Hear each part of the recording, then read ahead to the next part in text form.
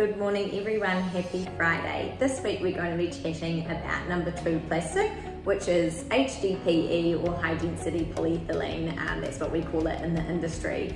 So the reason I wanted to chat about uh, number two plastic is because I feel like we've discussed number one plastic a lot and I just wanted to highlight that number two plastic is just as loved and used um, within the industry as well as purchased by you guys, the consumers. So Everyone I imagine will recognise the products in front of me and they are all products made from number two plastic. So we've got our milks, creams, uh, cleaning bottles, we have things like shampoo and conditioner.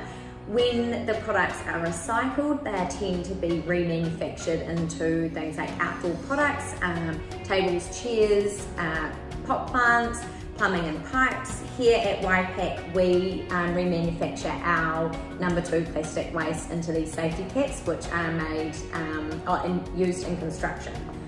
So the reason that number two plastic is so popular, um, well there are a number of reasons and some of them are that it is incredibly strong. So if you were to drop a number two plastic product, rather than it, than it cracking or shattering, which does happen in plastic, it's likely to bounce away, so it's incredibly durable.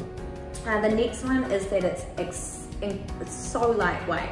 So a lot of people who are really conscious about the impact that they're having on the environment really like the option of this lightweight but strong product because obviously the lighter the product, the less impact that it will have on the environment during transportation and things like that.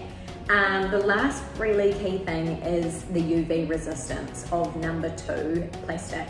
So in products like um, milk, where it's got a shorter lifespan on the shelf, UV resistance is incredibly necessary and number two plastic helps it stay on the shelf for longer than otherwise possible.